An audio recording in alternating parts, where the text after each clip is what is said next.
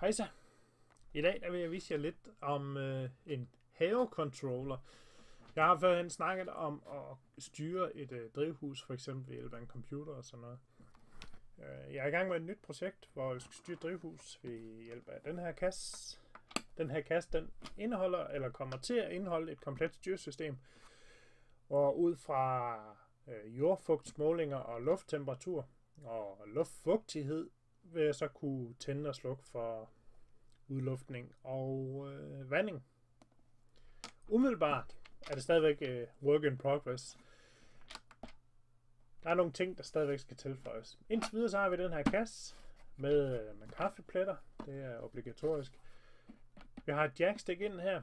Det her jackstick, det er egentlig til strøm. Det er rigtig fint, og det er ikke farligt. Det er ikke sådan, du får stød af det, fordi øh, det kommer til at være 12 volt DC fra et bilbatteri. Det bilbatteri det bliver lavet af en øh, 10 watt solpanel, øh, som jeg har til at køre derude i haven nu. Det 10 watt solpanel er rigeligt til at trække både den her, og så en springvandspump, som øh, det kommer til at køre med. I enden der, der har jeg en øh, RJ45 stik. Traditionelt et LAN-kabel. Øh, om. Sådan en. Og den passer selvfølgelig lige der. Det er fordi, at øh, drivhuset er så langt væk fra huset, at wifi kan ikke nå, men et kabel kan selvfølgelig godt nå. Og øh, så vil man jo kunne have, rart at kunne have en oversigt øh, og til jordtemperatur, luftfugtighed og eventuelt andre sensorer, man kunne finde på at sætte op. Dem kan man selvfølgelig hugge op til en hjemmeside eller et eller andet i den stil, så du altid har kontrol over systemet. Øh, man kan jo sætte sin, lave en lille app til sin telefon, så man kan starte noget vanding, mens man er på arbejde. Men øh, lad os kigge, hvad der er inde i kassen. Det er stadigvæk øh, under udarbejdelse.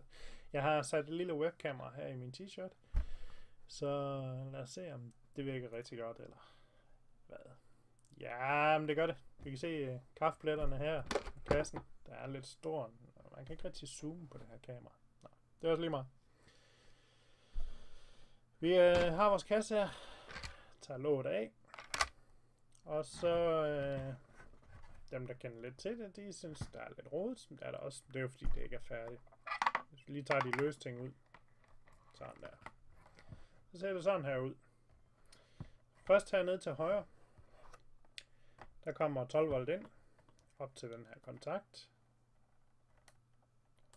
Og den kommer selvfølgelig til at sidde i låget eller på siden her og det bliver til at tænde og slukke for bilbatteriet. Øh, det kunne godt være, at man vil lige afbryde strømmen af en eller anden årsag. Og det gør man så her. Der er sat en diode på kontakten, som I kan se der. Bare for en sikkerheds skyld. De 12 volt, de kører ind til den her øh, bok konverter. Den går fra 12 til 5 volt. Max 1 ampere. Det er perfekt, fordi det hele det drives jo af en Arduino.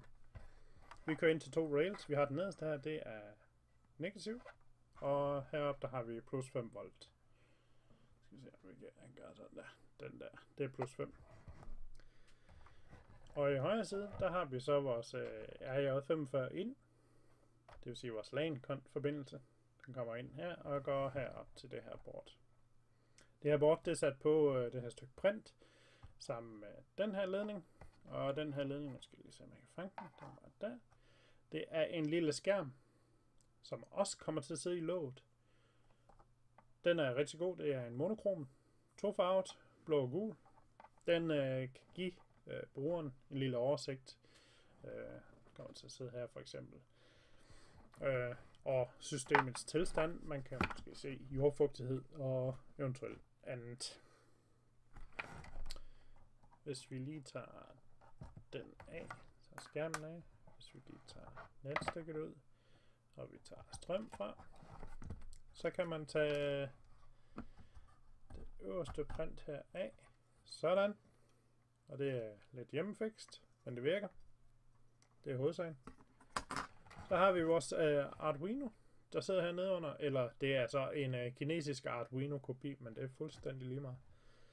Øh, den gør det, der skal til, og den har en polyfuse. Så det er perfekt. Indtil videre er det systemet. Det, der mangles nu, det er, at jeg får lavet nogle huller heroppe. Fordi heroppe, der vil jeg have min sensor, der kommer ind i systemet til at sidde. Øh, Udover de huller, så skal jeg have lavet nogle flere øh, hvad skal man sige, sockets på det her board, sådan at de sensorer de kan gå over i den. Øh, og det bliver selvfølgelig på samme måde som det her, så man kan tilslutte det og tage det fra efter behov. Er den sat til igen der. Skal lige sætte skærmen til. Den skal selvfølgelig lige vende rigtigt. Så det er brun, rød, orange og gul. Sådan der. Netværkstikket i. Og så er det egentlig kørende igen. Godt. Sensor for oven. Og så skal jeg have lavet et output, fordi øh, jeg skal jo drive sådan en springvandspump. Øh, og den kører på op til 12 volt, 6 til 12 volt. Og det er jo perfekt, fordi vi kører med vores øh, 12 volts bilbatteri. Øh, der sætter jeg sådan et relæ som det her ind over til at tænde og slukke øh, for pumpen. Og øh, jeg havde overvejet i en periode at, at forlænge det USB-stik, der sidder der, og så ud til kanten af kassen, fordi det skulle gerne være sådan, at jeg bare kan gå ned til mit drivhus, og så jeg kan tilslutte min uh, bærbare PC, og omprogrammere den eller noget. Jeg har så besluttet at lade være med det, og lade den blive herinde i. Fordi jo færre huller i den her kasse, jo bedre. Der kan godt være nogle fugtproblemer og sådan noget, og jeg skal efter den her kasse med noget isoleringsmateriale. Øh, der er specielle problemer over ved de her AJ45 stik, så der har jeg været efter den med lidt øh, med limpistolen for lige at give den noget lim. Men ellers så de her jackstik her, de, de er rigtig fine. De er gode tæt. Øh, de er faktisk vandtæt. Og jeg regner med at fortsætte med samme stil, så bare i forskellige farver, således at øh, de forskellige ting bliver bare sluttet op med forskellige farver. Det var sådan set det, jeg havde indtil videre med den her. Så det vi mangler, det er tilsluttet jordsensor, luftsensor og en kanal, der kan tænde og slukke øh, for strømmen. De ting, jeg så udover skal have lavet, det er noget software. Jeg laver selvfølgelig et øh, skattesystem, ligesom jeg har gjort førhen, og det laver jeg i Visual Studio. Øh, med overvågning, hvor jeg hele tiden kan holde øje med, hvad der sker. Derudover så vil jeg have sådan, at jeg herinde fra huset interaktivt kan trykke vanding, hvis nu jeg sidder og kigger, går ind på mit skattesystem, så kan jeg se, at jorden det er rigtig tør, eller den er ikke fugtig nok. Og en eller anden årsag, så har vandingen ikke startet. Eller også så synes jeg, at de skal have ekstra vand i dag. Så vil jeg have, at jeg kunne trykke start herinde fra huset. Omprogrammering. Der er jeg nødt til at gå ned i selve drivhuset, men man kan så sige, at der skal ikke være så meget omprogrammering. Jeg har overvejet lidt at tilslutte noget anden overvågning. Det kunne være noget sensorovervågning. Det kunne fx være en sensor på døren, så når døren den bliver åbnet eller ikke er lukket ordentligt, øh, så har jeg en indikator på, at der er noget galt. Jeg kunne også øh, tilslutte det hele en webserver, det har jeg så overvejet ikke at gøre. Men derimod bygge en øh, application til min Android-telefon, hvor jeg så kan bruge den til at tænde og slukke, og på samme tid overvåge øh, drivhuset fra telefonen, uanset hvor jeg er, så længe den selvfølgelig har en wifi-forbindelse, det er klart. Og det må jo så blive det næste skridt, efter vi har fået tilsluttet de sensorer, der skal til den her. Tak fordi I kiggede med.